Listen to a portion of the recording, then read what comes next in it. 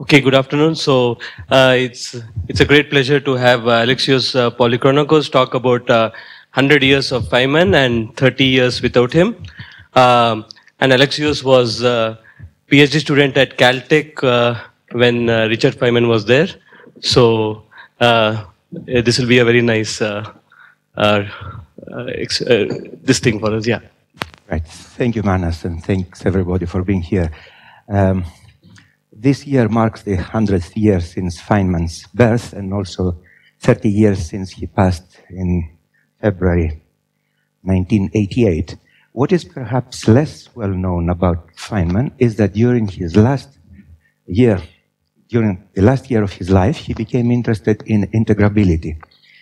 And because this is a conference on integrability and we are at this kind of uh, 100 year anniversary of his birth, I thought it would be appropriate to say a few words about him, focusing on that period through the lens of my personal experiences of being at, the, at Caltech at that uh, time.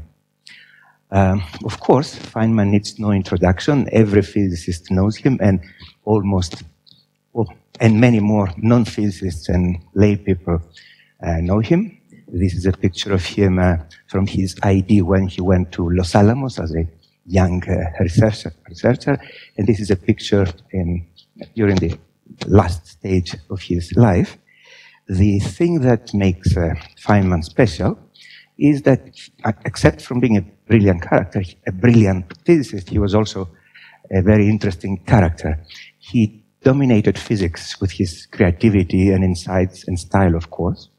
But he also created the image of the boyish, playful, irreverent physicist who relies mostly on smarts and intuition and figuring things on the spot, which is a very appealing picture to budding physicists and also mature physicists.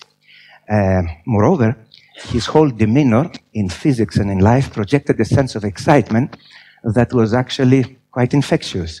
He had a sort of joie de vivre, so to speak, that um, made him a, a, a, source of inspiration even without specifics about uh, his science. He was a great teacher, as you know. We have all read his uh, lectures on physics, uh, challenging as they may be, and also a great communicator. He relished having an audience, and he would charm audiences with a quick chatter, quick-witted, using colloquialisms, and um, pseudo naive language. You know, Feynman was not naive, but he would always talk as if he's this naive fellow who is uh, having a kind of low key view to everything, yet figures things out. Because of all that, he has achieved a cult status well beyond physics and our community, which is sometimes, was sometimes to the exasperation of his peers.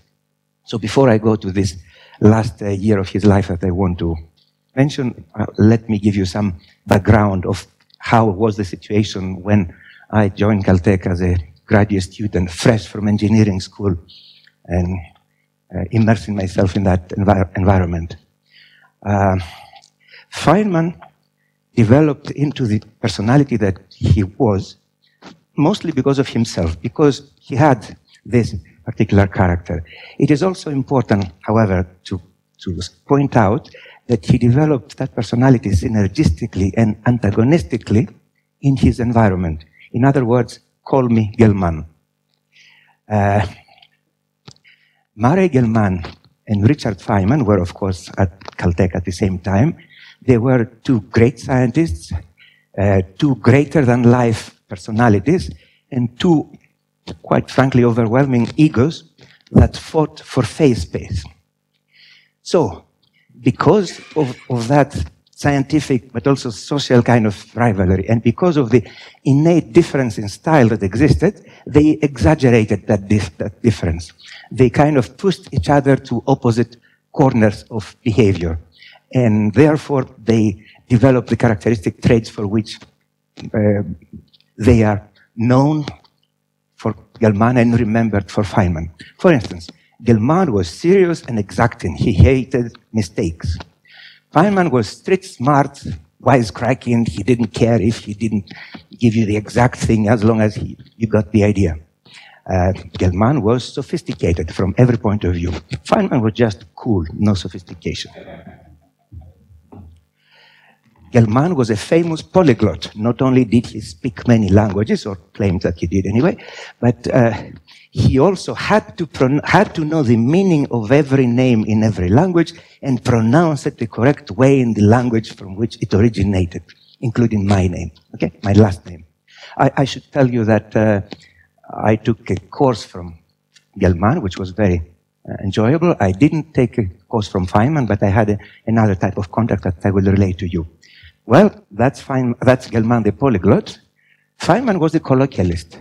He would speak in simple terms, in jargon, uh, using uh, uh, using uh, words that are kind, some kind of uh, street words, etc., and the occasional four-letter word, as long as he again conveyed the spirit of things. Um, yes.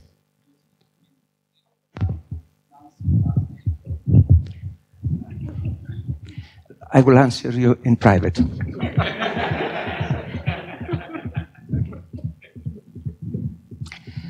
well, Gell-Mann was a polymath. He had to know everything about physics, about science, about birds, about languages, basically about everything. Feynman would admit to knowing nothing. He would just invent or figure out things by himself. He didn't care about knowing everything. He could always find out. Okay. Uh, more seriously and importantly, Gell-Mann remained actively engaged with physics throughout at least the 70s and the early 80s. Uh, in, in some respect, he dominated the physics of the 70s, supersymmetry, supergravity, sigma models, and other things. So he was still a very active uh, physicist in current physics. Feynman, on the other hand, basically went his own way although he did have a couple of uh, seminar and very influential papers and contributions, he basically was working in his own things. He didn't follow trends or current physics. He just was Feynman. Uh, again, importantly, Gell-Mann, because of his personality, was a natural leader and mentor. He liked to have a large group. He liked to have postdocs, other people, faculty or students to mentor and lead he thought nothing of picking up the, four, the, the phone at 2 a.m. and asking somebody, did you figure this out? What is it? Okay, stuff like that. And it works, okay? People get motivated when somebody is on their case like that. Feynman was a loner. Feynman collaborated little, if at all, and he had very few graduate students, and those he did did not universally appreciate the experience. And yet, despite of all that, if I showed you this list, you would say, oh, the balance is on this side. You could say that when, when Gell-Mann, where Gell-Mann was the maestro of a well-tuned classical orchestra playing to perfection, Feynman was a rock star giving a raucous concert and exciting the crowds. And if you're Gell-Mann, that's something hard to swallow, right? For instance, as, the bottom line is that in, this is a little bit of a hyperbole. Gell-Mann was admired and feared, well, not exactly feared, but you know what I mean, while Feynman was admired and adored. Again, not quite adored, but kind of emulated and uh, liked. Um, let me give you an example of the difference between the two uh, that happened during the time that I was there. Uh, Gell-Mann gave a colloquium. This is not a picture from that colloquium. I couldn't find one. But this is a picture of Gell-Mann giving a regular lecture. The colloquium was on QCD and quantum field theory. It was essentially a grand review of the triumphs of particle physics in the 60s and 70s, including QED, QCD, etc. Uh, it was uh, well researched and presented. It, uh, it was eloquently presented with dry wit. It was a beautiful colloquium, and he filled the amphitheater. Then later on, next year or so, Feynman gave a colloquium. The title was Negative Probability in Quantum Mechanics.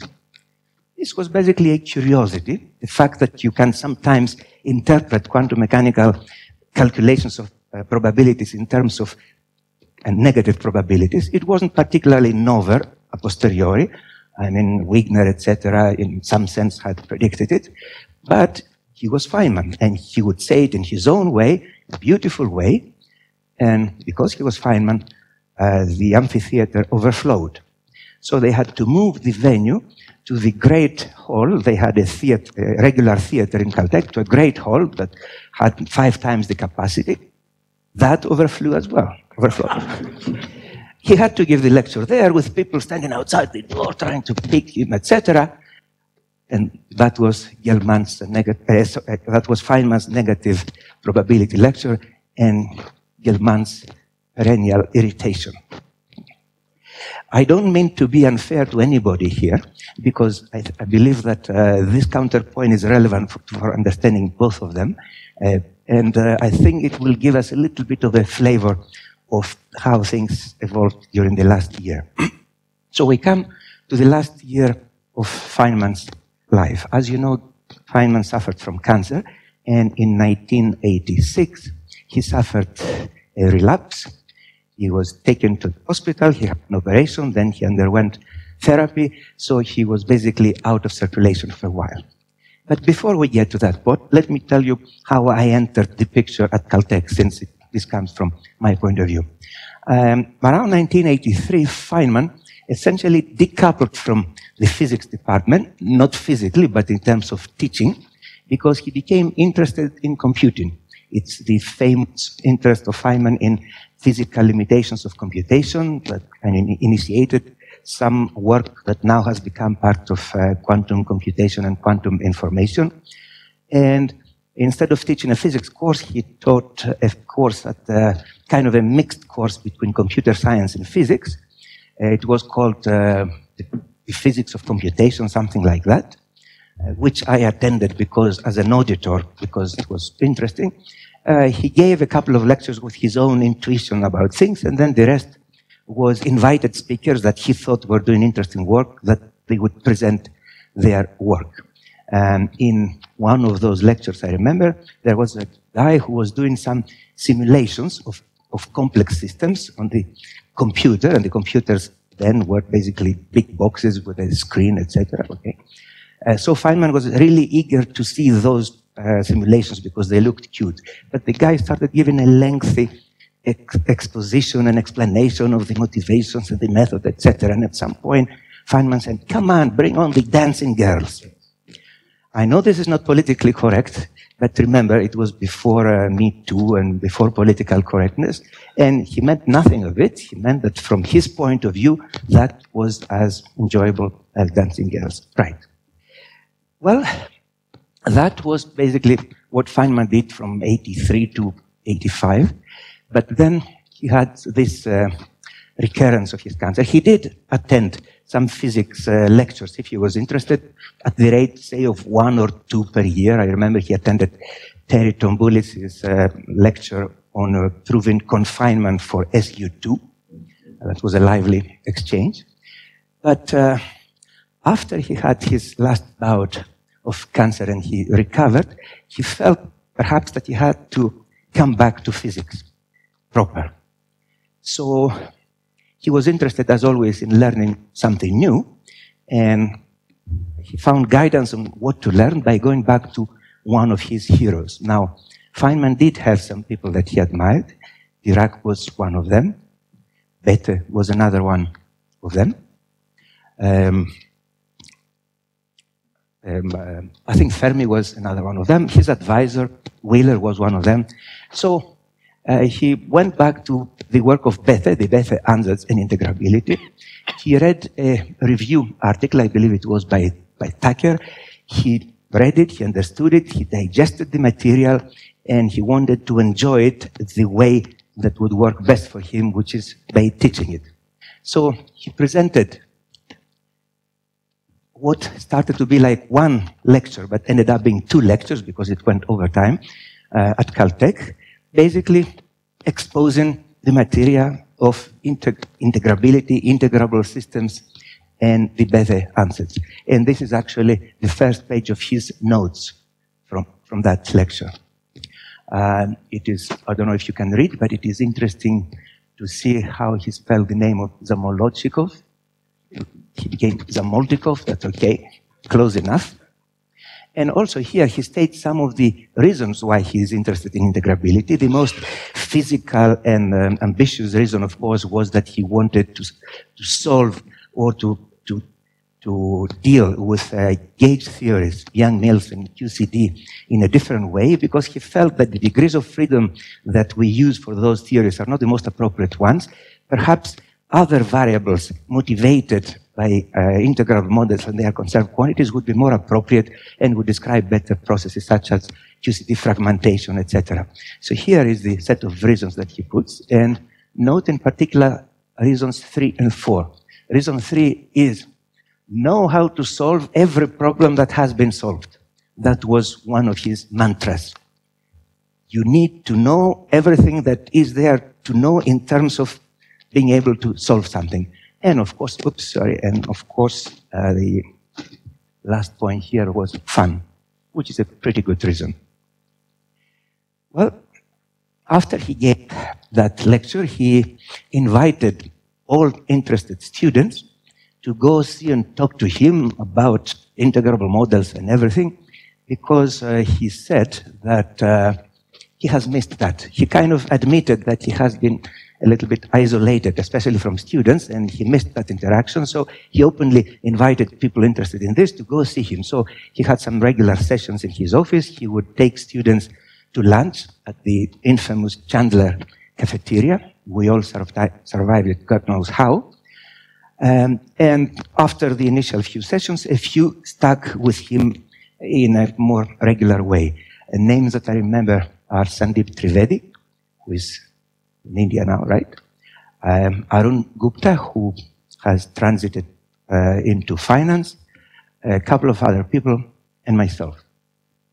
Uh, the thing was to go over problems that had been solved and see if we can solve them without looking at the solutions and maybe have new insights. Because one, again, and one of his mottos was, what I cannot recreate, I do not understand.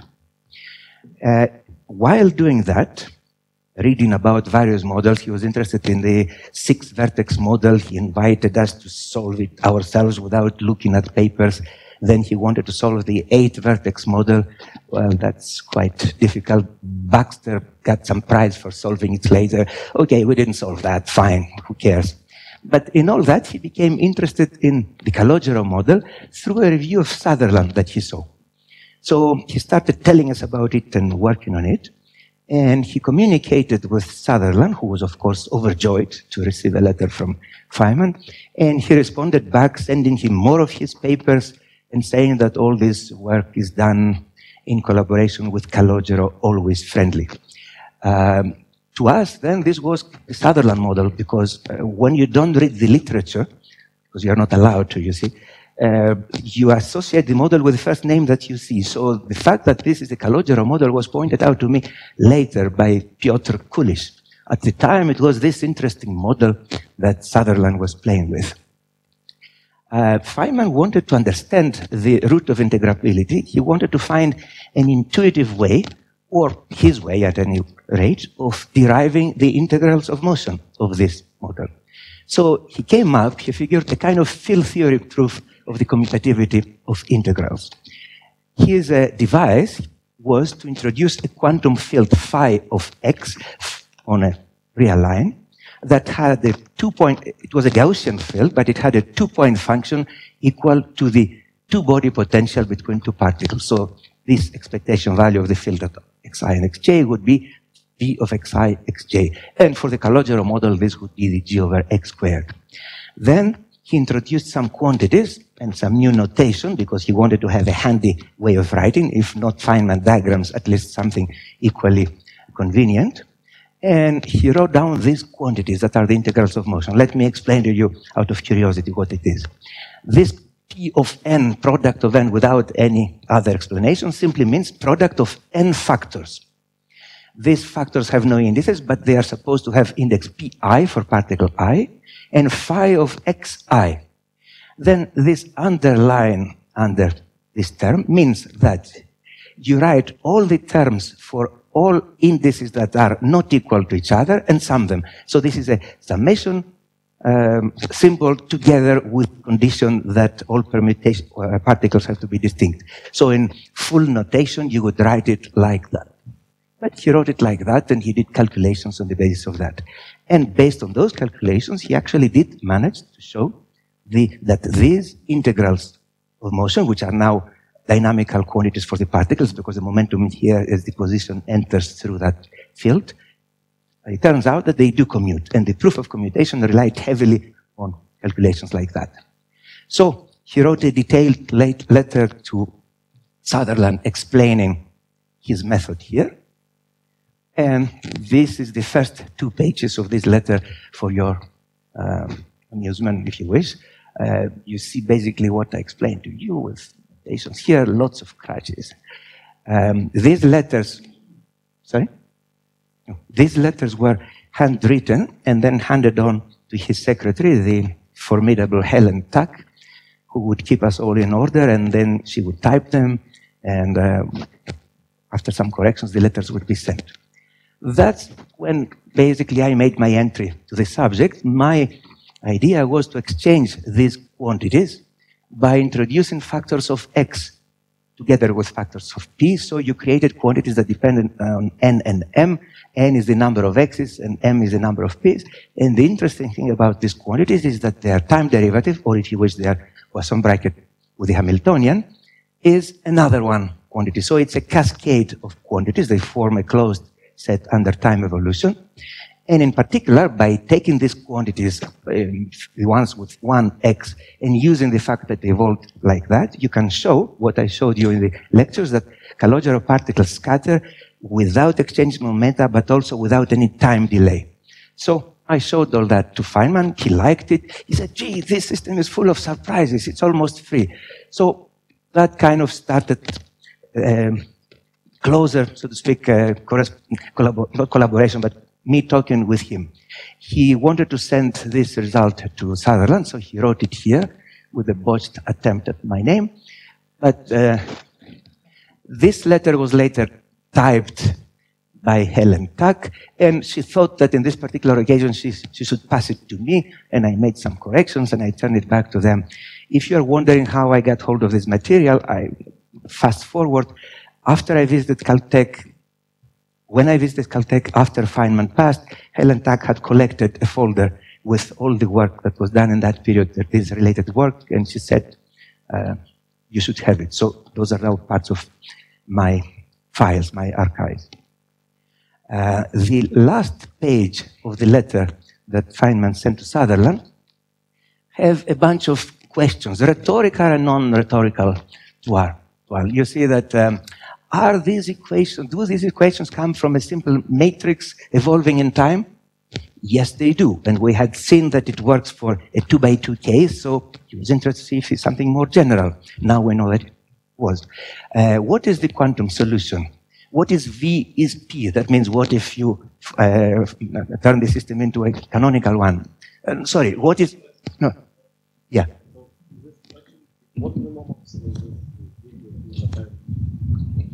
Uh, this all happened in spring of 1987, so you can time it. Feynman had read basically no papers except the first paper by Sutherland. You, you will see what, uh, what happens and why I say that. What if the potential is P? Because he learned that P is the, the Weierstrass function and that's also integrable. And although he could never pronounce Weierstrass, he thought this was a very interesting case. And then don't tell us. We are having fun. That is why we haven't read, uh, we haven't looked at your papers yet. Okay? Like this was a good thing to tell you. We haven't read your papers. We're doing it. Just tell us if any of this is unknown. So you realized fully that most likely all that is known, but you didn't care. Tell us if by any chance we discovered anything new. But for the rest, we are having fun. Well, uh, now I have to talk a little bit. Um, towards, so th that was the, the, period that I had my personal contact with Feynman. You can guess that it was one of my most exciting periods as a finishing graduate student at Caltech. The reason, other than the obvious charm of talking to a great scientist, was that it was genuinely fun to talk with him. First of all, he wasn't the person who was afraid of doing calculations and had all the, the big picture and let you do that. He liked to dirty his hand. You would show him something. Oh, yes, let's calculate this. Let's do that. He had very detailed calculations. He would do everything and he would arrive at the results himself. that was nice because he was working at the same level that you would be working as a graduate student trying to figure things out. Also, he had kind of a boyish enthusiasm about everything. Not just physics, like this model. Why is this model interesting? Because it's fun. Look at it, how it goes. That kind of stuff. But about everything else. And you would almost think sometimes that his interests were and approaches were naive if you didn't know that what starts with would start with Feynman as a naive idea would soon become something non-trivial and groundbreaking. Here is an example of um, a conversation that didn't have to do anything about um, science. Uh, we had lunch at the faculty club, the Athenaeum, and he said, no, I was listening to the radio the other day, and it was this broadcast in Persian. Do you speak Persian? No, I don't speak Persian. Isn't Greek similar to Persian? No, Greek is not similar to Persian. Sorry. Okay, anyway, so I was listening to it and I was trying to figure out what they were saying. And they were saying something like, shaha, shahi, shaha, shaha, shahi, shaha all the time. So I figured that must be a phone number and this is the area code that has and one in the middle. So this other shaha, shahi must be another number. So if I could figure out what area code they were, I could start figuring out the numbers and then I could fill it in and start making out what they were talking about. I could point out that there was a graduate student who was from Persia and you could just ask him. I could point out that there was a good dictionary of Persian dictionary in the library he could consult, but what would be the fun of it? That wasn't the point. The point was to figure it out by listening to the shaha, shahi, shaha, and trying to see what numbers it could correspond. That was it. And I'm telling you, it was fun. Well, my time at Caltech finished in June 1987, and I had to leave. I left for Florida, the University of Florida, my first talk. Among other things there, I kept working on the Calogero model, now that I had been introduced. And it was that semester, the fall semester in Florida, that I had the idea that those can be interpreted as particles of fractional statistics. So I did some calculations, I was excited, and I visited Caltech again in uh, December 1987, January 1988.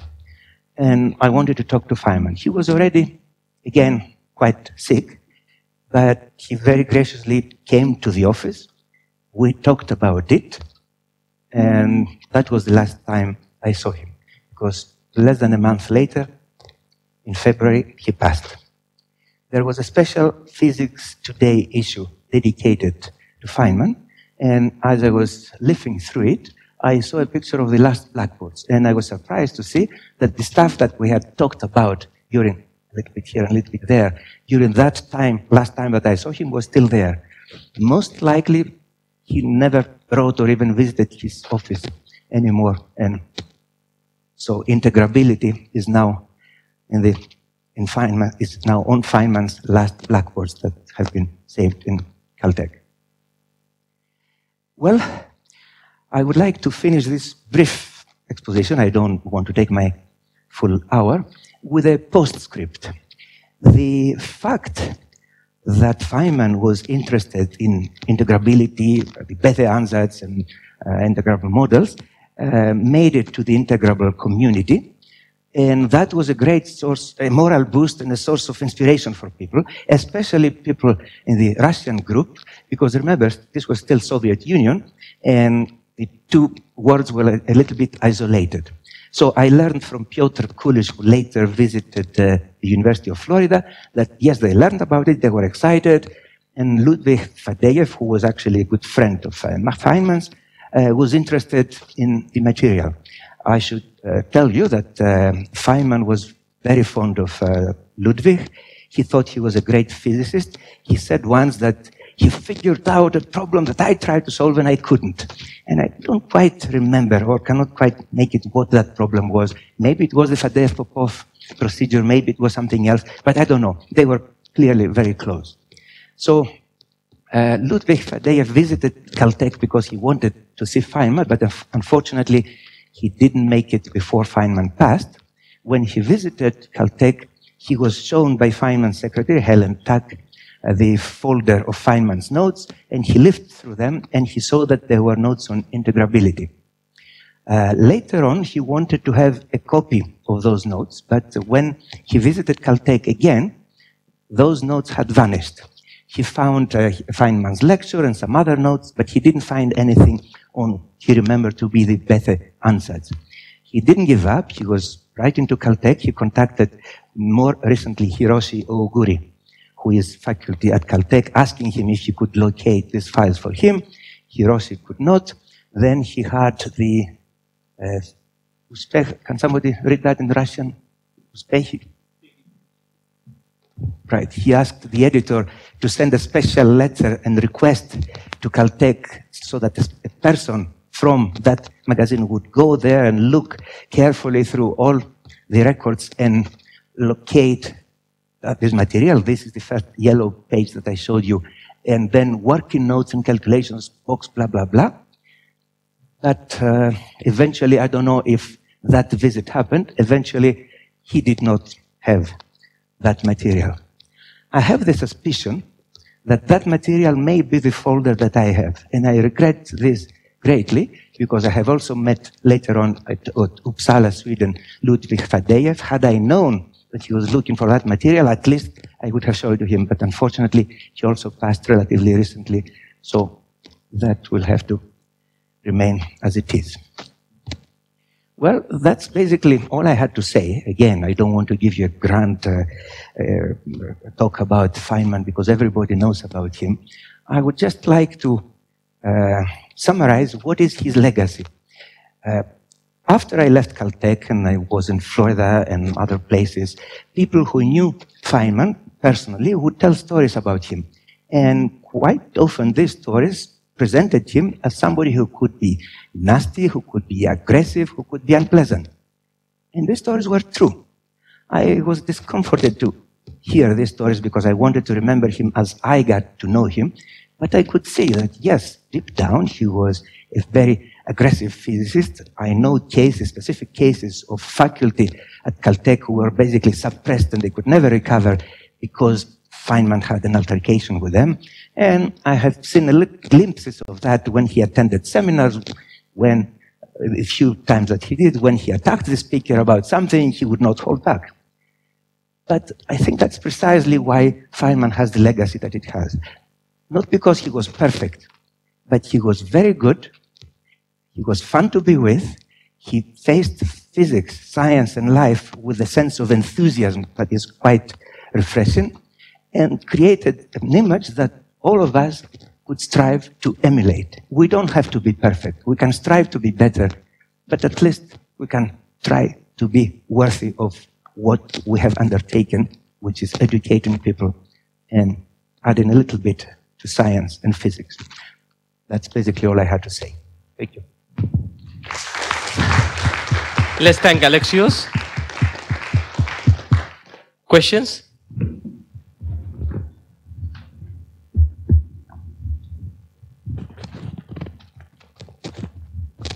Any questions?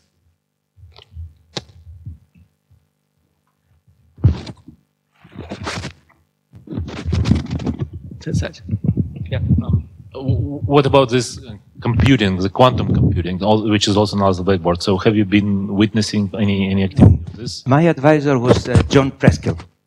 He was a bona fide, bona fide um, field theorist, particle theorist. Um, when I joined Caltech, um, he and Mark Wise were the two young faculty members. Everybody flocked at Preskill because Mark Wise was a um, uh, was a phenomenologist, and who wanted to do phenomenology? We were all kind of young. We wanted to do hard, uh, high theory. So uh, I remember, and John, for some reason, accepted us all. I remember poor John at some point had 10 students. Now, I don't know about you guys, but I cannot work well with one student. 10 students is impossible. So basically, I didn't work with him at all. I would chat with him once every couple of weeks. He would tell me, oh, yeah, fine, yeah, do that, uh, keep going, whatever. So that's how I did physics. I'm saying all that because after I left Caltech and John Preskill got tenure about the same time that it happened, he decided to transit into something else. He went into quantum computing, quantum information. He did it well and he became a leader and a guru in the field. Which was kind of weird for us who knew him as a particle physicist. It's a little bit like you're leaving for college and your father marries an 18 year old dancer and moves to Las Vegas. What is this? What is this quantum information, Alice and Bob and stuff, all right? but hey, he showed us. He showed us that you can make it in any field if you like it and if you put. Okay, I'm saying all that uh, out of respect uh, and uh, context for him. But when I was at Caltech, quantum computation and quantum information was something kind of off the wall. We knew Feynman was interested, and it was exciting that he was. But we didn't anticipate that this will amount to much more than Feynman contributing a few gems of intuition into the field and nothing else. So although I did attend that course that he gave, which as I told you consisted of a couple of lectures by him about the physics of computation and then seminars, I didn't follow up the development and I don't know uh, how that work actually uh, influenced the field, although I know secondhand that it, it, was considered influential, both, both from the motivation that it gave to people and the insights that it contributed. I don't know if that long response actually answers what you want. Uh, yeah.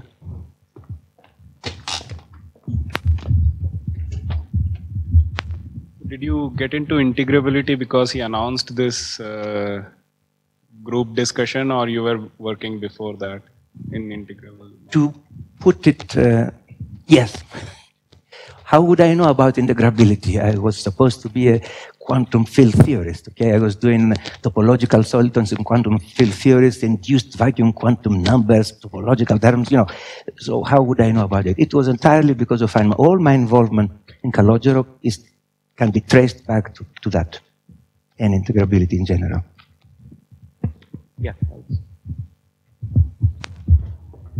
Uh, hi, thanks very much. Uh, uh, I, I was wondering this motivation of Feynman of applying integrability to QCD and fragmentation. Uh, I guess there were, I'm not sure of the timeline, but Faddeev and others had been trying to study the integrability, I think Korchemsky and Faddeev maybe uh, uh, integrability in uh, the dilatation operator or the uh, QCD again. Uh, were these independent or Feynman come up with this idea by himself? Or, Can you place time-wise when did Faddeev and collaborators started working on it or produced some work? Because then I can see if Feynman's was contemporary or not.